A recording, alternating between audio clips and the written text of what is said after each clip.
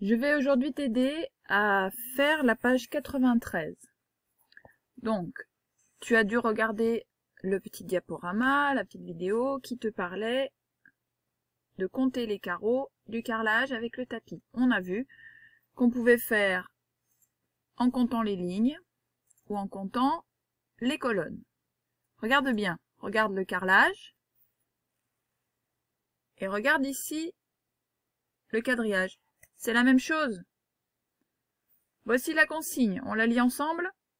Lily a colorié une mosaïque rectangulaire, mais elle a renversé de la peinture dessus. Calcule le nombre de carrés que contient la mosaïque. Regarde bien, il y a des quadrillages avec des lignes, toujours les mêmes, et des colonnes, toujours les mêmes. On te demande de faire le calcul avec une multiplication donc. Rappelle-toi, une multiplication, c'est combien de fois tu vois les choses. Si tu décides de compter les lignes, il te suffit de compter une seule ligne et de compter combien de lignes il y a. Il y aura, euh, comme, comme dans le carrelage par exemple, il y avait 9 lignes de 12, donc 9 fois 12. Ou au contraire, il y avait 12 fois 9 carreaux, donc c'était 12 fois 9. À toi de décider dans quel sens tu comptes. Ici, tu écris la multiplication qui correspond. Tu peux utiliser la calculatrice pour euh, faire le calcul qui est un petit peu long. Et ici, tu n'oublies pas de remettre le résultat sur la phrase réponse. La mosaïque de Lila contient ta carré. Sur l'exercice d'en dessous, c'est la même chose. Regarde. Sauf que cette fois, on a planté des radis.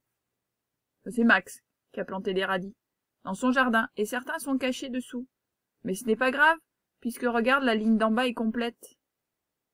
Donc on sait combien il y a de lignes, on peut même compter les colonnes si on veut, on compte dans le sens qu'on veut. Tu écris la multiplication ici, et tu reportes le résultat là, avec la calculatrice. Et enfin, dans le dernier exercice, tu as une tablette de chocolat.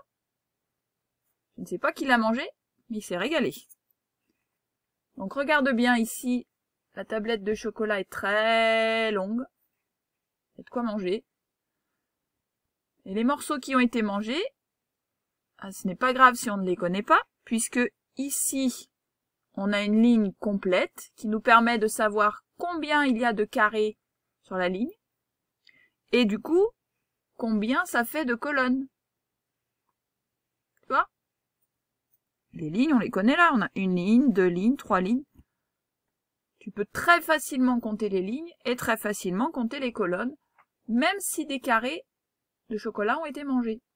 Tu écris donc ici la multiplication et le nombre de carrés qui ont été mangés, tu n'oublies pas de le réécrire ici.